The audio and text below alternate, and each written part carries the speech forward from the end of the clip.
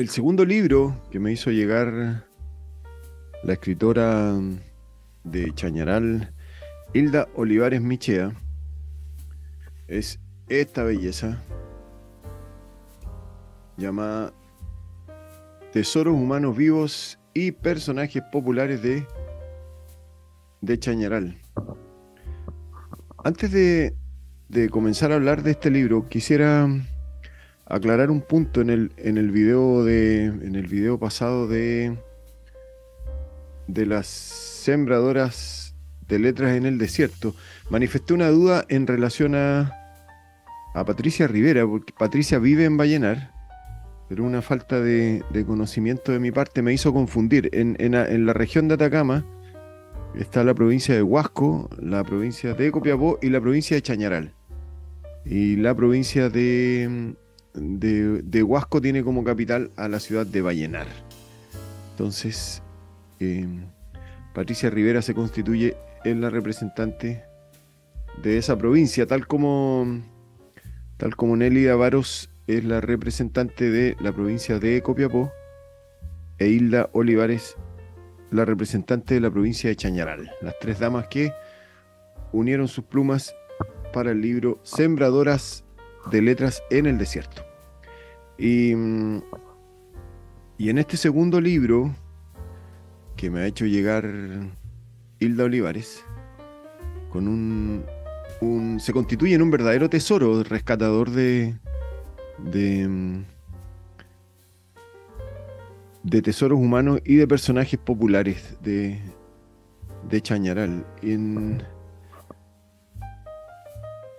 en la solapa indica tesoro, un bien preciado, gran valor, que invisibilizado o no está presente. Sin embargo, la UNESCO dice que es una persona que posee un alto grado de conocimiento y habilidades requeridas para actuar o recrear elementos concretos del patrimonio cultural inmaterial es un reconocimiento entregado en Chile a individuos o colectivos de personas por ser portadoras de manifestaciones del patrimonio. Siguiendo esa línea, he buscado a los, a, a las y los que nos pertenecen para homenajear a estas personas o personajes que dejan huella memorial y que hoy es vital registrar para seguir construyendo nuestra historia. Toda la razón. Quiero repetir, dice, es vital registrar para seguir construyendo nuestra historia. No hay historia sin recuerdo, ¿no? No hay historia sin memoria. El, el proyecto, como dijimos, incluye dos, está incluido en dos partes en los tesoros humanos vivos y los personajes populares. Y están los agradecimientos de la autora Hilda Olivares a diversas personas, entre ellas a Sergio Isasmendi y Vasconia Cereceda, por creer en mí, dice la autora.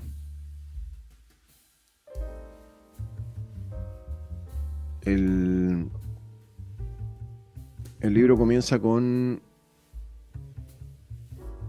con unas hermosas fotografías. Es un libro, un material, una hoja foto de, eh, casi fotográfico, muy bonito, de muy buen de muy buena calidad y me permito leer las palabras del autor al comienzo, emulando la canción Chico de mi barrio de la cantante argentina Tormenta. He dicho adiós a muchos de cabellos largos que pasaron deprisa por la vida caminando o en bicicleta, y otros con una siga de perros, con los pies descalzos y flores en su pelo, regalando una sonrisa sin saber en qué lugar de la calle el sol hoy se escondió. Otros solitarios, siempre solitarios, otros quedan, y es necesario que su paso no haya sido en vano, es la razón de este homenaje. A mis letras, les llamo escritos porque cuentos no son, Poemas tampoco son relatos verdaderos, son puñados de letras con sentimientos que me han seguido en el tiempo recordando a personas que conocí y conozco y me invitan a una sincera reflexión. En el Club de los Libros Soñadores navegan estos versos, desconozco su autor, pero dan sentido a mis letras. Dice, lean mucho, lean todo, lean lo que dicen las miradas, lean los gestos, lean lo que se dice sin palabras, lean historias, lean lágrimas en pañuelos, lean libros nuevos, viejos, prestados, leer educa, salva, abre, acompaña, leer hace libre. Eso hice, leí en algunos de mis personajes, mendicidad, soledad, vulnerabilidad, desamparo. Otros, por el contrario, cantan, bailan y van aparentemente felices por la vida. Y mm, tras un prólogo de, de Camila Gajardo Tapia, fechado en el, Chañaral primaveral, en Chañaral de la primavera del 2021, y un hermoso mural que acompaña el libro de mm, el mural una fotografía un mural que representa los primeros habitantes y navegantes del desierto de, los, de las artistas Paula Ferrer y Aner Urra del año 2018, ubicado en calle Yungay con San Martín de Chañaral. En el capítulo 1, y aquí es donde realmente es una, es una, es una belleza, una, una belleza con, con, con, gran riqueza, porque capítulo 1, el relojero, el sastre, el zapatero, los mueblistas, los carteros, el peluquero. Y en el relojero, en Tesoros Humanos Vivos, David Holguín Cabezas de Chañaral. Quiero leer un párrafo uno a uno. David va apilando los oxisos, imperfectos, sin agujas, sin resorte. Los de fera quebrada, los dormidos, esos que detuvieron el latir de corazón mecánico, minuteros y segunderos que no bailan al compás. El, el relojero David Holguín Cabezas. El sastre Juan Holguín Cabezas. Y, y uno de los párrafos dice, pero hubo una vez que Juan quiso coser hasta sus ojos para no ver cómo máquinas nadaban junto a todos los géneros enredados en un mar oscuro. Las agujas turbias se lo llevaron, las aguas turbias se lo llevaron. Los hilos se enredaron en la vida de Juan y todos los chañaralinos. Entiendo que es el, el dramático episodio que vivió Chañaral del, del aluvión. El zapatero, el zapatero Mario Tavilo. Debajo de cada zapato está escrito el nombre de cada cliente y el arreglo que precisa. Y si olvida, dice, lo ve por ahí usted y mientras recuerda pule y abre llanta un par y con silbidos entona una canción del ayer, don Mario ha bromeado que quiere reparar el botín del cerro a falta de trabajo. Mario Tavilo, el zapatero. Los mueblistas, Emilia Aguilar y Arnaldo Lobos. Triste la abuela cuenta una vez más la historia del sillón que fue regalo de bodas. que siempre ha estado ahí y es un recuerdo del abuelo. ahí está los mueblistas. Emilia Aguilar y Arnaldo Lobos.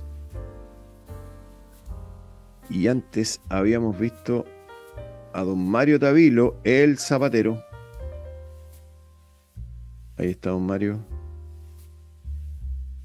A, a don Juan Holguín Cabezas, el sastre. Y habíamos comenzado con también apellido Holguín Cabezas, don David Holguín Cabezas, el relojero. Ahí está. El, continuando con. Me parece que es el. Qué maravilla. Qué maravilla de oficio. Y qué maravilla de libro que pueda. Que, que pueda recopilar en forma breve eh, estos oficios. Los carteros. Jaime Quesada Espinosa y Marcelo Durán Contreras. Ahí están.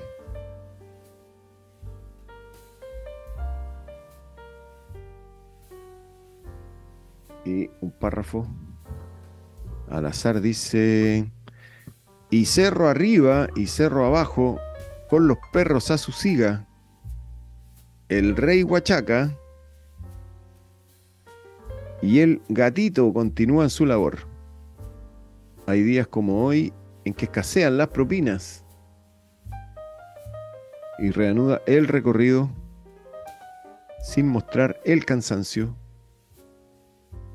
esquivando los canes. Los carteros son son amigos de los perros, tienen una relación ahí bien, bien especial. Sobre todo ahora que los carteros andan, o al menos por acá donde vivo, aparecen en bicicleta. Y después viene, no podía faltar, el peluquero, don Ramón Alvarado Carrasco. Ahí está. Del libro tesoros humanos vivos y personajes populares de Chañaral de la escritora Hilda Olivares Michea. El peluquero. Eh, Ramón es otro náufrago del aluvión del año 2015. El barro se llevó el hogar del anciano minero de Diego Almagro viajaba cada 20 días a ejercer su labor de peluquero de forma voluntaria y anónima, porque le nacía del alma y bastaba que los ancianos le regalaran una sonrisa para sentirse pagado. Mira. Y bastaba que los ancianos le regalaran una sonrisa para sentirse pagado. Parece tan lejano